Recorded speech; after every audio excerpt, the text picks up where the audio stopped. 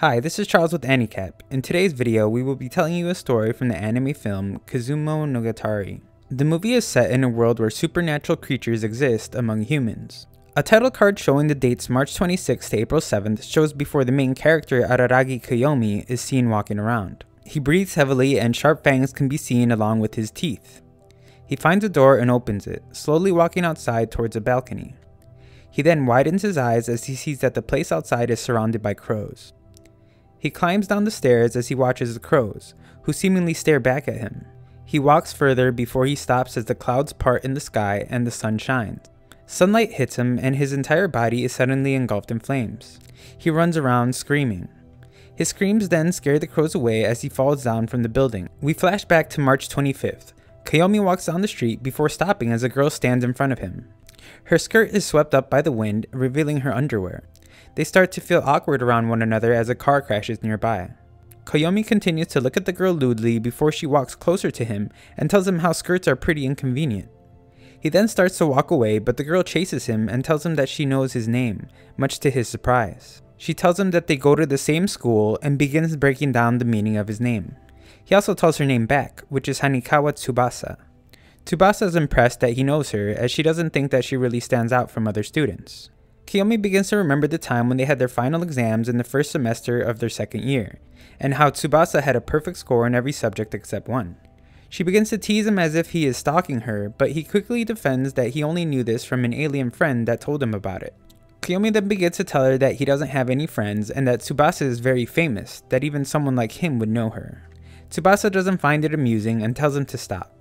She then stands up and they walk before she asks Koyomi if he believes in vampires. She begins to tell him of an urban legend of a vampire in their town, and that because of this, people shouldn't go out in the streets alone at night. She also tells him that the vampire has blonde hair and eyes that could make anyone freeze on the spot. Koyomi is skeptical about the entire rumor and tries to find an explanation for it.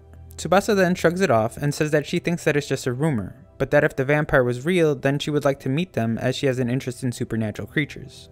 Tsubasa then apologizes for blabbing on about things that might not make sense, and then asks him why he doesn't have friends. He tells her that he sees them as a weakness, saying that he would be affected by whatever happened to his friends and he doesn't want that liability.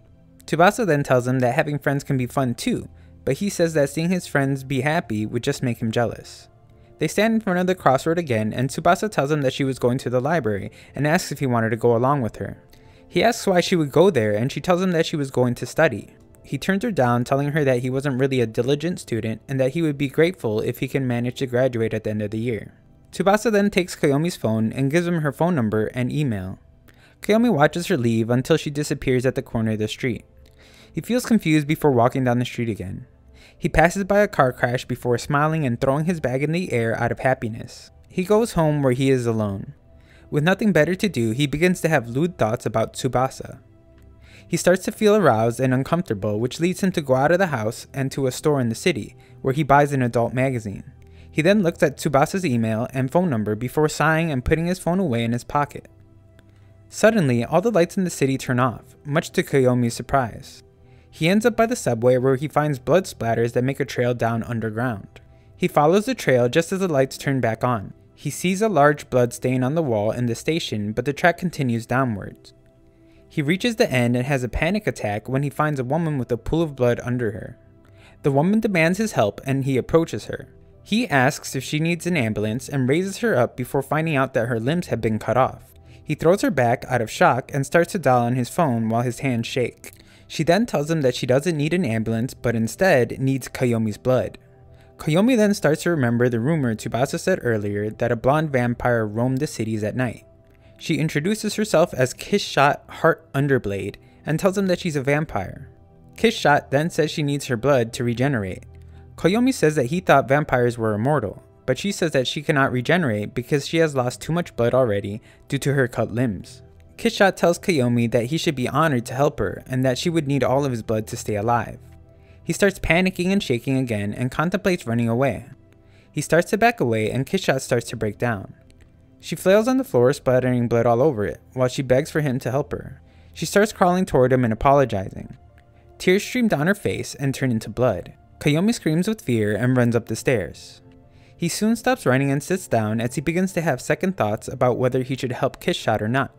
He tries to argue with himself that he doesn't need to help her and that she's a vampire, but Koyomi eventually returns to the spot where Kissshot is. He lifts her up and promises to do better in his next life, as he thinks he would die after helping her. He then lets Kissshot take all his blood. She thanks him as she bites down on his neck and he falls back down to the ground. Koyomi eventually loses consciousness. Later, Koyomi wakes up and thinks whatever happened was a dream. He then looks at his side to find a young blonde child. He tries to wake her up, but she's stubborn. He goes outside and the events from the introduction scene continue, as Koyomi is on fire. The child catches up to him, jumping down from the tall building as she catches fire as well. The child drags Koyomi back into the building and they both stop burning. She then tells him not to go out in the sunlight and Koyomi realizes that the child is the vampire he met earlier, Kissshot. She reveals to him that she turned him into a vampire, making him immortal, and that he is only the second vampire she has ever turned. Kissshot then remembers that she never knew his name, but shrugs as she says that his former name doesn't matter now that he's a vampire.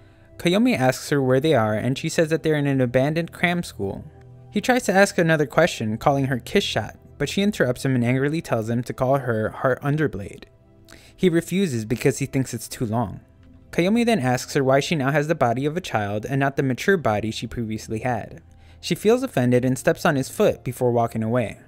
She then explains that Koyomi's blood wasn't enough to let her keep her original form, so she took a smaller form that she could keep up. Kissshot asks if he understands everything now, to which he says yes. She then tells him to pat her head to show his obedience. He does and finds it adorable. She then adds that she didn't intentionally make him into a vampire. It was just that every human that gets bitten by a vampire turns into one. She was still grateful that it happened because she had something for Koyomi to do. He asks her if he can still become human again, and she says that she can make it happen. She tells him about the vampire hunters that cut off her limbs. Kissshot orders Koyomi to take back her limbs from the three of them. She tells him that if he wanted her to turn him back into a human, then she would need to be in full power. Getting her limbs back would accomplish that. Later that night, Koyomi finds the vampire hunters. The hunters talk between one another, but it just sounds like garbled noises. Another person watches on top of a building before jumping down and running towards them. The vampire hunters start to charge towards Koyomi, but are stopped by the mysterious person. The altercation is over and the man then takes him to a safe place. Koyomi thanks him and the other person says that he doesn't need to thank him. He then says Koyomi's name, which alerts him. The man tells him that he's to bring Koyomi home, which confuses Koyomi. He explains that he was the one that took Kissshot to the abandoned cram school. Koyomi asks who he was, but the man doesn't tell him his name. They arrive back at the school and regroup inside a lecture hall. Kissshot greets Koyomi and turns to the man, saying that he looks familiar. Koyomi and Kissshot then begin discussing what happened while the man sits at the back of the lecture hall.